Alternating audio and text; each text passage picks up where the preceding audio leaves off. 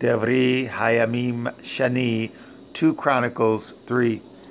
Then Shalomah began to build at the house of Yahweh at Yerushalayim in Mount Moriah, where Yahweh appeared unto David his father, in the place that David had prepared in the threshing floor of Ornan the Yabusi.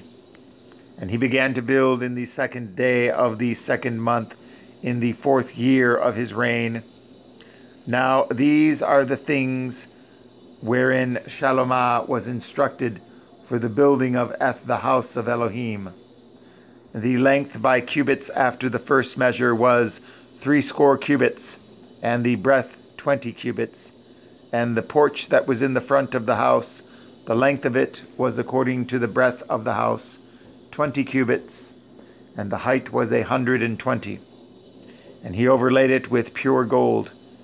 And at the greater house he sealed with fir tree, which he overlaid with fine gold, and set thereon palm trees and chains. And he garnished at the house with precious stones for beauty, and the gold was gold of Parvaim, rather Parvaim.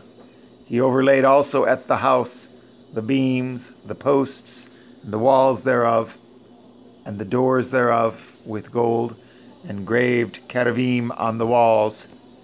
And he made at the most holy house, the length whereof was according to the breadth of the house, twenty cubits, and the breadth thereof twenty cubits, and overlaid it with fine gold, amounting to six hundred talents, and the weight of the nails was fifty shekels of gold, and he overlaid the upper chambers with gold.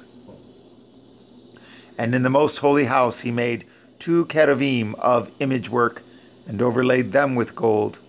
And the wings of the cherubim were twenty cubits long. One wing of the one cherub was five cubits, reaching to the wall of the house.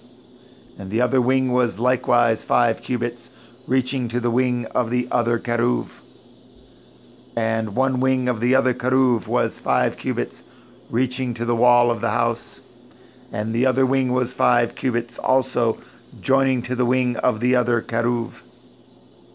The wings of these cherubim spread themselves forth twenty cubits, and they stood on their feet, and their faces were inward. And he made at the veil of blue, and purple, and crimson, and fine linen, and wrought cherubim thereon. Also he made before the house two pillars of thirty and five cubits high, and the chapiter that was on the top of each of them was five cubits. And he made chains as in, as in the oracle, and put them on the heads of the pillars, and made a hundred pomegranates, and put them on the chains. And he reared up at the pillars before the temple, one on the right hand, and the other on the left, and called the name of that on the right hand Yachin, and the name on that on the left, rather, and the name of that on the left, Boaz.